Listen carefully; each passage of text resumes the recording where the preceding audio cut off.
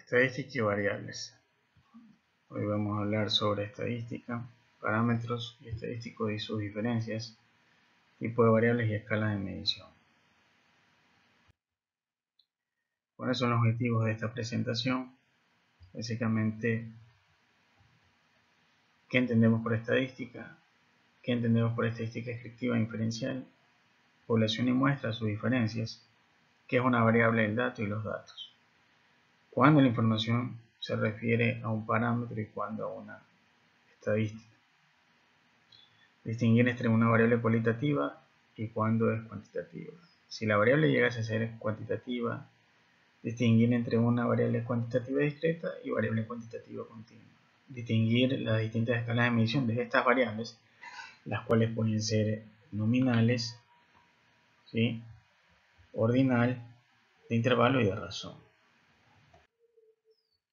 La estadística es una ciencia, pero no podemos dejar de hablar de la estadística sin hablar de la probabilidad. Sin la probabilidad la estadística no podría eh, ser una ciencia, la cual recopila, describe, organiza e interpreta, creando un conjunto de datos para transformarlos en información y así tomar una eficiente toma de decisiones. ¿Quiénes usan la estadística? Organismos oficiales, diarios, revistas científicas, revistas de farándula, etc. Políticos para su plan de marketing, para sus estrategias políticas públicas, deportes, marketing deportivo, etc. Control de calidad, administradores, investigadores científicos, médicos, para lo que es estadística médica, etc. Entonces, la primera clasificación de la estadística es la estadística descriptiva, que también recopila, organiza, resume y presenta los datos en forma informativa o de forma informativa o descriptiva. Entonces, un ejemplo serían los datos del censo de población del 2010, donde se miden características de la población y se describen los mismos. Un ejemplo también sería la cantidad de robos ocurridos en el último mes, una descripción de la cantidad de robos Ejemplo 3. La cantidad de pacientes atendidos en hospital en el último año. Mientras que la estadística inferencial hace una inferencia sobre la población, sobre los comportamientos que tiene esta población, basado siempre en una muestra. La población es una colección o conjunto de individuos, objetos o eventos cuyas propiedades o características serán medidas y analizadas. La muestra es un subconjunto de la población de interés, la cual ha sido obtenida de forma aleatoria. Cabe recalcar que la aleatoriedad es un principio importante cuando se hace muestreo. Existen varias técnicas de muestreo. Dentro de las técnicas de muestreo podemos hacer dos clasificaciones, la probabilística y la no probabilística. Es importante acotar que la población también se la conoce como universo. Si yo tengo una población, voy a tener elementos que pueden ser personas, animales o cosas, donde voy a tomar una muestra. Y esta muestra va a tener o va a ser compuesta por elementos que han sido seleccionados de forma aleatoria, ya sea personas, animales, cosas, insectos, plantas, semillas, etc. Si hablamos de población y muestra, también tenemos que hablar de parámetros y estadísticos. El parámetro proviene de la población, ¿sí? y estos parámetros, su simbología está en letras griegas, mientras que el estadístico o estimador proviene de la muestra es decir, que la media muestral estima a la media poblacional. La varianza muestral estima la varianza poblacional. La varianza perdón, de desviación estándar estima la desviación estándar poblacional. Existen más parámetros como la mediana, la muda, ¿sí? que también existen estimadores o son estimados por la media y la muda, la mediana y la muda, perdón, de la muestra. Aquí algunos ejemplos de estadística descriptiva. Imagínense una encuesta desarrollada por IVOPE en el 2019 donde se ve el rating de la radio. Entonces la variable es el rating de la radio en el Gran Guayaquil que está compuesto por Guayaquil, Durán, Zamorondón y donde está encabezada este rating por FM 98.3 con 1.5%, seguido de 89.9 de Blue con 1.18%. Esta encuesta mide algunas variables, no solo esta, y describe eh, información importante sobre los gustos y preferencias en temas de radio. Otro ejemplo sería una encuesta desarrollada sobre la telefonía residencial en 2004. Recuerden que en 2004 era muy común el tema de telefonía residencial o convencional. Entonces aquí una de las variables que se midió fue el gasto mensual promedio por cliente. En el 2004 era de 90 dólares a nivel nacional. En estos momentos eh, ya la telefonía convencional está desapareciendo. En el 2004 era más, más común esto de aquí. Otro ejemplo es el Instituto Nacional de Estadística y Censo a través de su encuesta de empleo, desempleo y subempleo en el mes de junio, donde la tasa más alta, alta que reportó fue que el desempleo ascendió a 4.3% a nivel nacional. Esta encuesta hace una descripción de ciertas variables de empleo, desempleo y subempleo. Entonces, ¿qué es una variable? Una variable es una característica que yo puedo medir u observar sobre un elemento, ya sea de una población o muestra.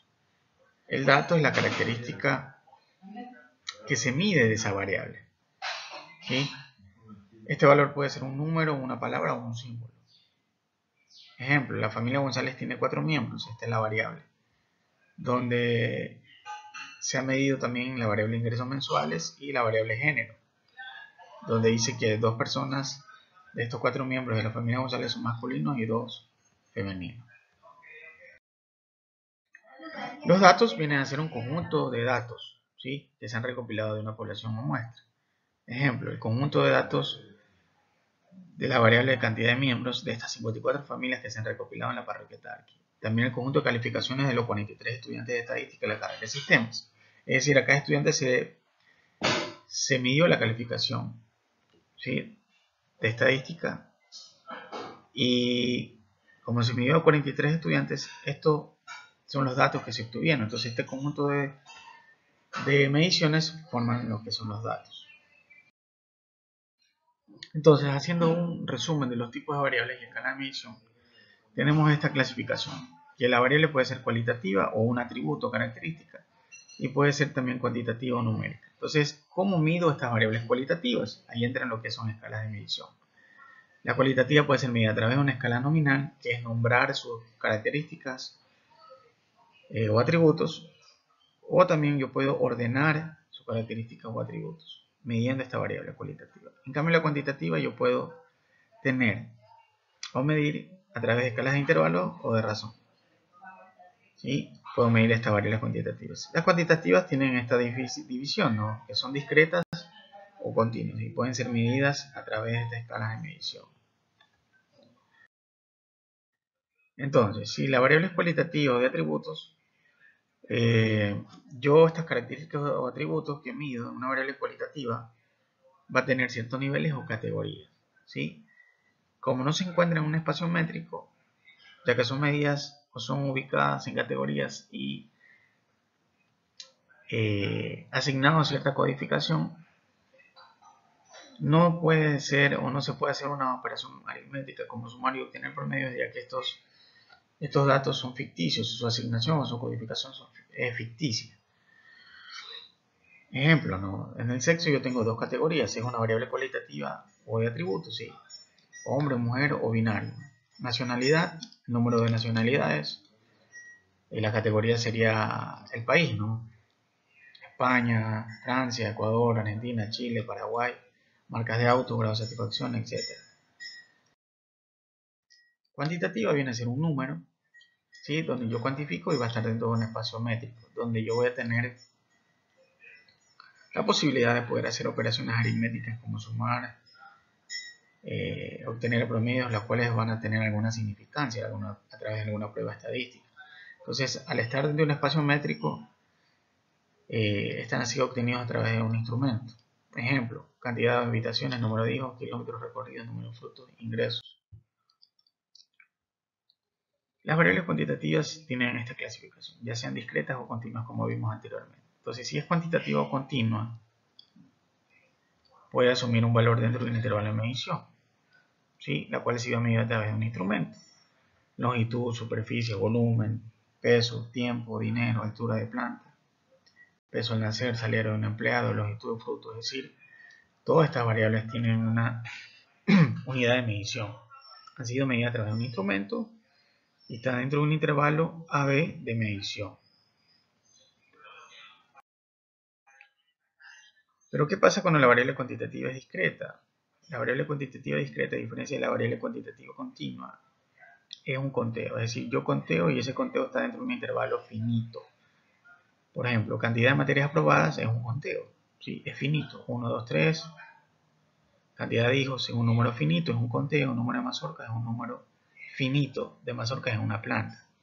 Es cuantitativo, por supuesto, pero como es un conteo, es de tipo discreto. ¿Para qué me sirve esto de saber si es cuantitativa discreta, cuantitativa continua o si es cualitativa? Porque en ciertos programas o software o algún software estadístico me va a pedir para hacer alguna prueba paramétrica o no paramétrica poder definir la variable ¿no? antes de poder ingresarla para ver si se puede desarrollar esa medición. Entonces, asimismo las variables cualitativas se pueden medir ya sea en una escala nominal ordinal. Es decir, poder medir la variable cualitativa. Recuerden que la variable cualitativa es una medición, es una observación. Que yo puedo esa observación bien este, registrarla y poder ubicarla en cierta categoría o nivel. También puedo, puede ser un testimonio, puede ser una palabra. Eh, como dice la nominal, tú tienes un listado de características donde no tienen ningún orden ni jerarquía. Ejemplo, barrio de residencia de los alumnos. Yo registro dónde viven los alumnos, pero no quiere decir que si vive en un barrio u otro va a ser mejor o va a ser de mejor jerarquía. Lo mismo color de ojos o si es simpatizante de algún equipo de fútbol. Aquí no hay ningún orden ni jerarquía, solo se nombra las características de la variable que se esté midiendo. Es decir, estoy midiendo una variable de forma nominal. Y cuando es ordinal, es decir, todo lo que se registra va a tener un orden a través de números ordinales. Primera característica, segunda, tercera y cuarta va a tener una jerarquía y va a ser eh, de relevancia en la medición de esta variable.